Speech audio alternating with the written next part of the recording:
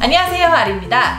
무더위가 찾아오니 여름이 실감나기 시작해요. 올해는 또 얼마나 더울지 하, 빨리 겨울이 오고 크리스마스가 왔으면 좋겠습니다. 무튼 뭔가 기분까지 시원해지면서 재밌는 거 없을까 생각하다가 2년 전쯤부터 너무 만들어보고 싶었던 젤리성 케이크가 반짝 생각났어요. 팬분들을 만나면 대다수가 부시드 노엘, 통나무 케이크를 정말 재밌게 봤다고 하시더라고요 그렇다면 울창한 자연, 푸른 바다와 섬을 리얼하게 묘사한 오늘 아이템도 마음에 쏙 드실 것 같습니다. 올 여름 피서는 시원한 젤리섬으로 떠나봐요. 그럼 오늘도 아이디어 탕탕 cooking 시작 슝! 오늘의 재료 비슷한 계열인 mermaid 젤리 케이크는 아기자기하고 아담한 느낌이었다면 오늘은 좀 더 현실감과 생동감이 넘치는 big size의 케이크입니다. 먼저 케이크 시트 이 시트는 노른자 파운드 케이크 영상 레시피고요. 가루 일부를 코코아 파우더로 대체해서 초코 파운드 케이크로 구워 준비를 했습니다. 2호 2개, 1호 하나로 준비를 했어요. big size니까 시트도 많이 필요하죠. 샌딩 및 icing에 필요한 가나슈 재료, 다크 가나슈고요. 플라스틱 초콜릿, 초콜릿 공예에서 주로 쓰이는 초콜릿 장식인데요. 초콜릿을 반죽 형태로 만들어서 여러 가지 모양을 빚을 수 있기 때문에 데코할 때 많이 많이 사용됩니다.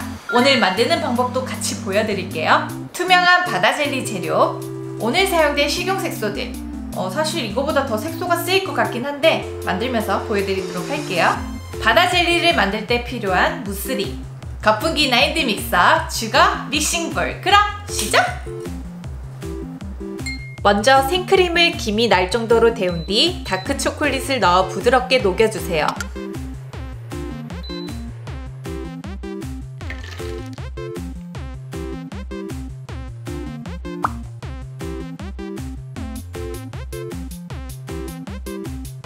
부드럽게 잘 녹으면 넓은 용기에 펼쳐 표면 랩핑한 후 냉장실 1시간 둡니다. 미리 슬라이스해둔 시트에 잘 굳은 가나슈를 얇게 펴발라 샌딩합니다. 크림보다 가나슈가 훨씬 고정력이 좋고 단단해서 디자인하기가 수월해요. 이 케이크 시트로 해저부터 바다 위에 섬까지 만들 거기 때문에 최대한 높게 쌓는 걸 추천합니다. 가나슈가 단단하게 굳도록 잠시 냉동실에 10분 둘게요.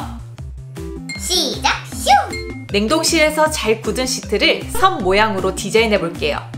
예쁘고 반듯하게 자르기보단 무심한 듯 거칠게 조각내고 다듬어 주세요. 자연스러운 연출을 위해서 어떻게 디자인하든 멋지게 나올 거예요. 여긴 물고기들이 다니는 해저 동굴입니다. 통로도 여러 개 뚫어줄게요. 심해 사진 찾아보는 걸 좋아하는데 오늘 그 경험이 빛을 발하는 것 같아요. 해저 지형은 끝났고 이제 산봉우리 두 개를 만들어 볼게요. 가나슈를 시트 전체에 예쁘게 바르기보단 역시 덕지덕지 거칠게 발라주세요.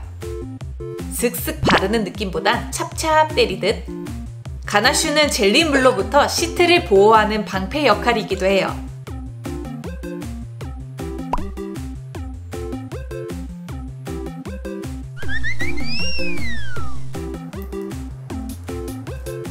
최대한 이렇게 덕지덕지 이렇게 치덕치덕 발라주셔야지 자연스러운 느낌이 살아납니다.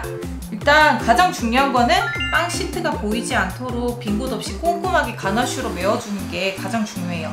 네, 나중에 젤리물을 채울 때 빈 곳이 있으면 그쪽으로 젤리물이 새어 들어가서 무너질 수 있기 때문에 빈틈없이 해주셔야 됩니다. 자, 이제 냉장실에서 1시간 정도 단단하게 굳혀준 다음에 작업하도록 할게요. 사용할 만큼의 녹인 카카오 버터에 화이트 식용색소를 섞어 분사해 볼게요. 이 작업은 옵션인데요. 전체적으로 흑갈색 한 톤인 것보다 살짝 음영을 주면 공간감이 살아서 더 지형이 자연스럽게 느껴져요. 나중에 젤리물을 부으면 살짝 굴절돼서 바닷속 그림자처럼 보인답니다. 그리고 작은 붓을 이용해 녹인 화이트 초콜릿을 곳곳에 찍어 발라줍니다. 냉장실에 잠시 둡니다. 그동안 장식용 초콜릿과 젤리물을 만들어 볼게요. 화이트 couverture 초콜릿을 전자레인지에 녹인 뒤 물엿을 넣고 주걱으로 섞습니다. 금방 이렇게 덩어리 형태가 되는데요. 장갑을 끼고 덩어리를 꼭꼭 쥐어짜듯 반죽하면 이렇게 카카오 버터가 분리가 됩니다. 여기서 너무 오래 쥐어짜면 많이 건조해져서 모양 빚기가 쉽지 않기 때문에 적당히 짜내어 주는 게 포인트예요. 이렇게 만든 뒤 랩질하여 하루 숙성해서 사용합니다. 그래서 저는 전날 미리 만들어 뒀어요. 짠! 조금 떼어내서 바다버섯부터 만들어 볼게요. 반죽을 동그랗게 빚은 뒤 끝이 둥근 스틱으로 가운데를 꾹 눌러줍니다. 가끔 힐링하고 싶을 때 심해 게임을 하는데 거기서 본 바다 버섯을 모티브로 만들어 봤어요.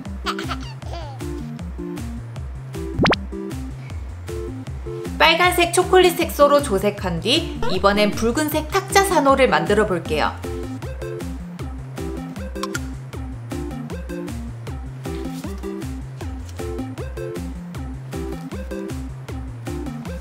이번엔 파란색 따개비입니다만 생각보다 만들기가 좀 어렵더라고요. 따개비를 가장한 이상한 이름 모를 무엇이 되었습니다.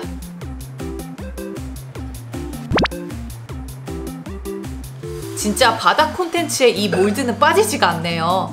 조개들은 그냥 초콜릿으로 만들었어요.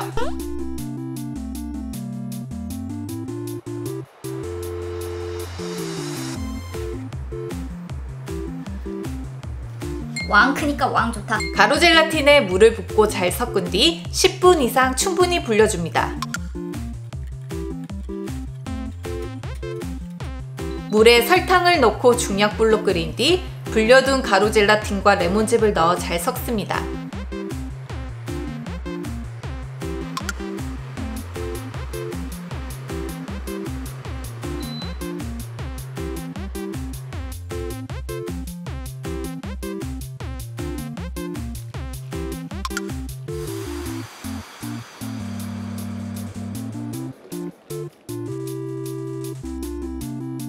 식용색소를 소량 넣어 잘 풀어주세요. 실온에서 미지근해질 때까지 천천히 식혀주세요. 젤리브를 높게 채워야 돼서 무스링에 높은 무스띠를 둘렀고요. 테이프로 단단히 고정시킵니다.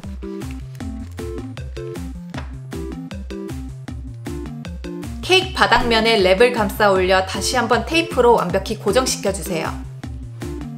이제 깔때기를 사용해 완벽히 식은 젤리 물을 부어줍니다. 냉장실에서 4시간 이상 굳힙니다. 진짜 무거워요. 이거 진짜. 와, 어쨌든 젤리가 정말 잘 굳었습니다. 네 여러분 진짜 진짜 진짜 진짜 진짜 조금 아쉬운 게 있다면 따개비 초콜릿이 좀 녹아내렸어요. 젤리물을 부을 때 너무 급하게 부었나 봐요. 제거를 해봅시다. 오래 기다렸다. 정말 오래 기다렸다.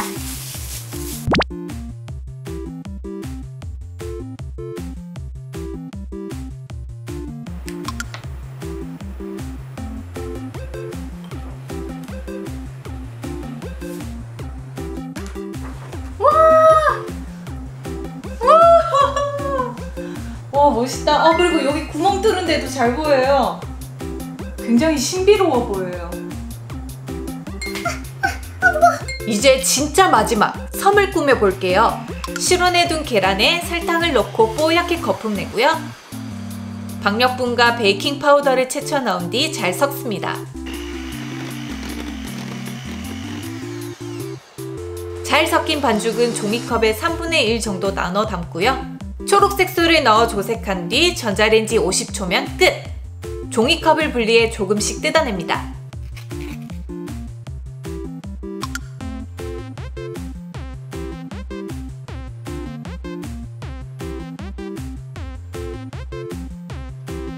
그리고 섬에 톡톡 올려주면 끝이에요. 따로 접착을 하지 않아도 잘 붙어요.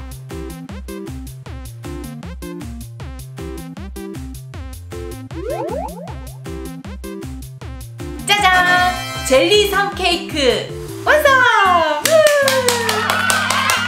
태평양 한가운데 어느 누구의 발길이 닿지 않는 미지의 섬을 상상해서 만들었는데 어떤가요? 이 생동감 넘치는 에메랄드 바다 표현. 가까이서 봤을 땐 수면 위로 스킨스쿠버 다이빙 하는 것 같아요. 실은 제가 그 심해의 미스테리하고 신비한 느낌을 굉장히 좋아해요. 뭐 막 너무 깊으면 좀 무섭긴 하지만 심해 공포증은 없어서 그 으스스한 느낌조차 기묘하더라고요. 그래서 이 해저에서만 볼 수 있는 지형을 꼭꼭 표현하고 싶었어요. 아 젤리 바다에서 수영하고 싶다. 자, 빠지면 섭섭할 슬라이스 타임 가봅시다. 갑니다. 아, 아까워.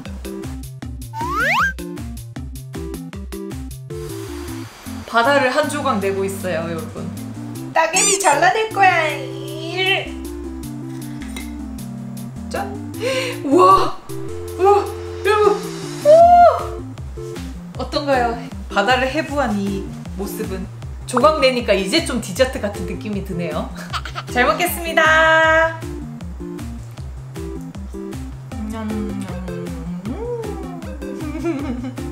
젤리랑 시트는 따로 먹어야겠어요. 젤리 케이크 하면 빠질 수 없는 mermaid. 예쁘고 귀여웠지만 아주 조금 아쉬운 부분도 있었어요. 1호 사이즈라고 해도 생각보다 조그맣고 공간도 좁다 보니까 제 욕심의 10분의 1 정도로 줄여가지고 표현한 거였거든요. 이번에 젤리 섬으로 큼직큼직하게 만들면서 그때 미련이 확 풀리는 것 같습니다. 왕 크니까 왕 좋다. 특히나 이 섬을 표현한 데코레이션들 조금만 힘을 빼서 가볍게 touching해도 너무 디테일하지 않아도 이 자연 모습 그대로 표현이 잘 되니까 마치 장인이 된 느낌이랄까? 여러분도 젤리섬 케이크로 나만의 paradise island를 디자인해 보세요. 자, 오늘 제가 이렇게 만든 젤리섬 케이크 어떠셨나요? 마음에 드셨다면 영상 하단에 좋아요 버튼 꼭 부탁드리고요. 아직 아리키친 구독 중이 아니시라면 구독도 꼭 부탁해요. 그럼 여러분 우리 다음 영상에 또 만나요. 안녕!